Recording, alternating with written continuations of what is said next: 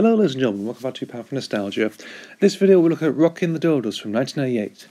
Rocky and the Dodos, a stop-motion animated television series, uh, consists of two seasons actually, pretty interesting. And it's done by Cosgrove Hall, uh, fam- true famous for Count Duckula, um, uh, Count Duckula, Danger Mouse, um, the Wheelies, I forgot the name of that one again, uh, Jolt the Wheelies Dream Magic Torch, so on, such many classics.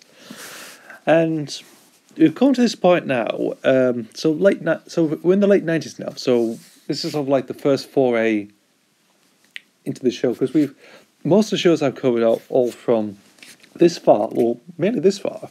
I've actually co- uh, covered from like so we've come to like to the mid nineties, I think. So like from the late sixties to the mid nineties. This is late nineties. So late nineties, bit of a different time.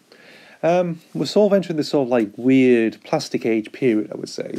Um, late late nineties, I think it's quite strange and surreal, especially when you get to the when we, when we cross over to 2000, 2001, It's quite surreal for me, as I remember. I always dubbed the plastic age. Ninety six to ninety, no, ninety six to two thousand and three, roughly around that. That's how I call that plastic era. I do something like that. Plastic age, I know it as.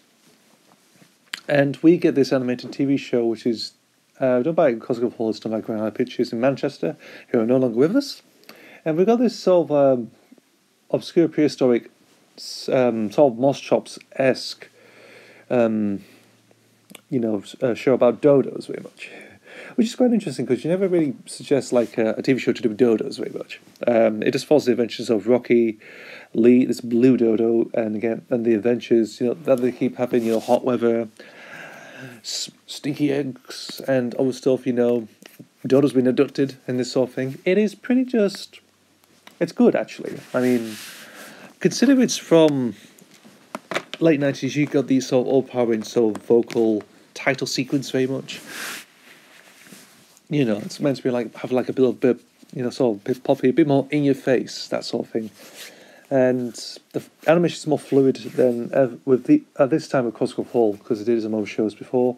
I will discuss later. One I'll discuss later on, which sort of comes after this actually. Although actually, I think I think it finished when this came on, actually, but anyway. So the animation's fluid. It's quite nice. The voice acting, obviously, because you have Jimmy Hibbert as well, you know, providing stuff. You know, this sort of traditional flair, of course nicely done. I do think it's sort of it's very it's very underrated because you think of Cosgrove Hall, you think of the great stuff they sort of that they did in the eighties, you know, and some stuff in the early nineties, which one I'll get onto a little later in a couple of videos down the line, mm-hmm. but it's just you know sort of underrated. It's just you know.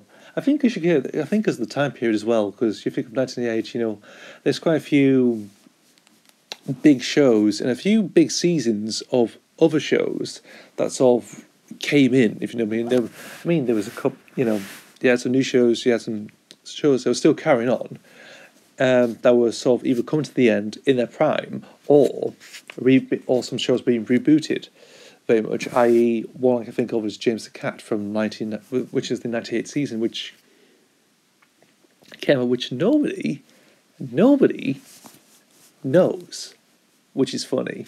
I mean, that's a that's all for going and swept up the carpet. Um, but let me digress with Rock and Dots, because so I think this is sort of mushed under the sort of um, stuff that was going on, big shows. Todd Stevie was ended this year. Um, I think there's a few new others as well, a few forgotten gems as well. Keep kept popping up as well, but again, you know, too many stuff, too many, too many things climb up this, climb up the tone pole. Chances are some of them fall off and land on the ground and never to be touched again. You know, it's like a lo- it's like a losing, it's like winning a victory and you watch the loser walk away in the in the dark, very much. I think this suffers from it. Uh, but overall, I think Rocky and the Dodos is quite good. I mean, it's one of Cosgrove fine works. A little bit underrated, but pretty good. Anyway, that's all I can say about it. I've been babbling on about 1988 for a bit on this video. However, the show, give it a watch. Anyway, thanks for watching. I've been talking about Rocky and the Dodos from 1988, and I'll see you for the next video. Thank you. Bye.